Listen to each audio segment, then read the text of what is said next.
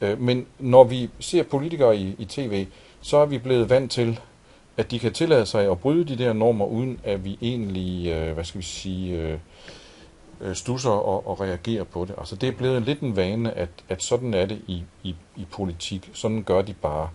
Og, og det, har, det har varet længe, og det, det, er blevet, det er blevet værre i de seneste år, og jeg tror, at nu er der mange af os øh, almindelige borgere og vælgere, som er begyndt at, at vågne op og høre, hvad det er, der foregår. Altså, at man lever ikke op til de normer, som i, i dagligdagen sikrer, at, at, at vores øh, kommunikation med hinanden tjener noget konstruktivt. Det er rigtigt. Altså, kan man sige, det, det vil også være en logisk konsekvens af, at vi mange af os, sikkert alle sammen, har fået flere kanaler, flere medier, flere stemmer, ja. og vi kan lytte til og vælge mellem blandt.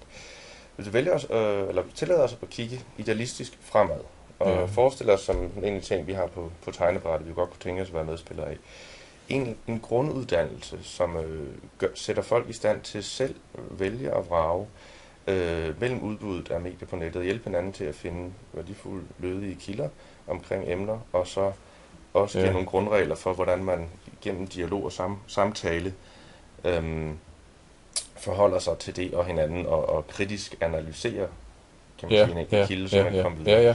Så forestil os sådan en, en grunduddannelse, som enten som et nyt filosofikum, eller som en ekstra år af gymnasiet, hvad ved jeg. Ja. Hvad vil du mene, den som minimum skulle indeholde? Jamen, jeg mener netop, den skulle indeholde en bevidstgørelse af, af grundlæggende idealer for menneskelige samtale, som, som vi alle sammen øh, kender ubevidst, altså uden, egentlig at have formuleret dem, og, og som vi godt kan mærke, når der bliver øh, stødt an imod dem. Øh, det er det, jeg siger, det kan vi mærke i, virke, i virkelighedens verden, men vi, er blevet, vi har været immune overfor, når det gøres i den politiske verden. Det skulle være en del af det, men øh, jeg mener bestemt også, at den skulle, en, sådan en grunduddannelse, jeg tror, den kunne begynde i folkeskolens ældste klasser, og og jeg synes at det er fint, at man vil indføre nye fag, som, som for eksempel innovation, som statsministeren har foreslået.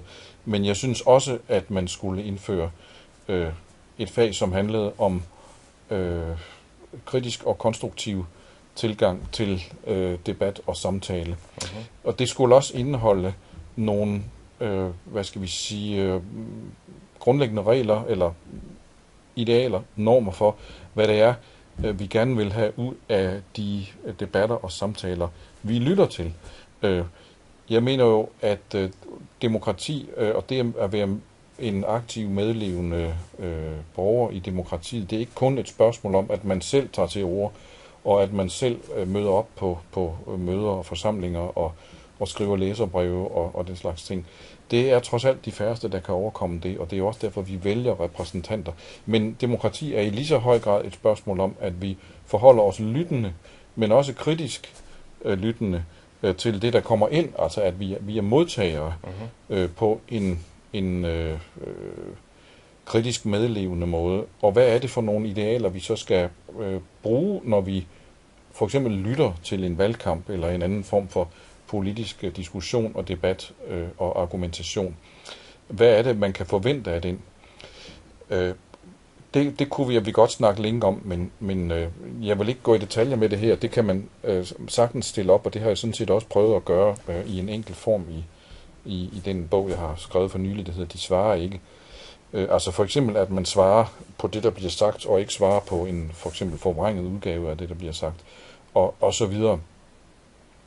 Men altså først og fremmest, så er det øh, noget, vi har brug for at, at øh, bevidstgøre, at de her øh, idealer, dem vil vi gerne have, bliver efterlevet i den, øh, dialog, i den dialog og debat og, og øh, diskussion, som, som vi hører for eksempel i en valgkamp. Okay. Og, og jeg mener, at vi har brug for at anlægge netop vores, altså borgernes eller vælgernes øh, synsvinkel, kan du også sige, på øh, den politiske kommunikation.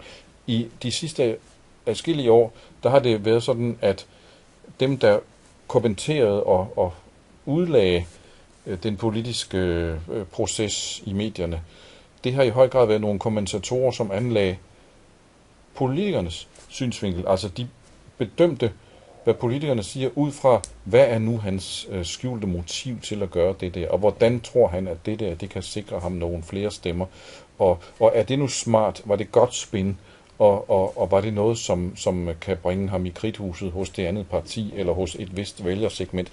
Altså, man anlægger øh, den enkelte politikers hvad skal vi sige, strategiske synsvinkel på, om det er smart øh, kommunikation.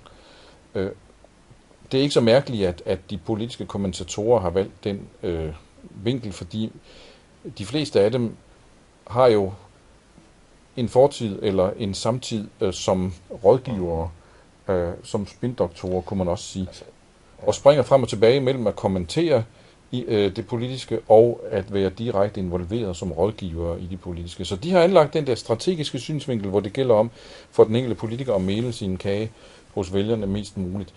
Men vi skal have noget mere bevidsthed, hvor vi anlægger borgernes synsvinkel. Hvad har vi brug for, øh, når vi hører øh, politikerne diskutere med hinanden? Det er der jo, kan man sige, oplyst og hvad kan man sige, veluddannede medborgere, mange af os, som, som mener os selv i stand til. Men, ja.